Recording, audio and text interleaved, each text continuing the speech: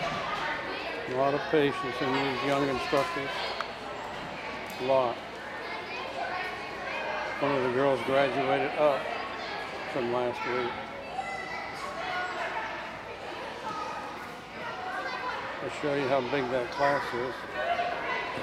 This is the next level up. One girl in there was just in Clemens class last week.